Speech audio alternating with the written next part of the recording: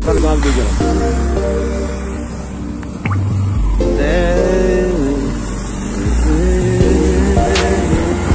Na to? Nakahanap naman, nagbibilang ka. Okay na.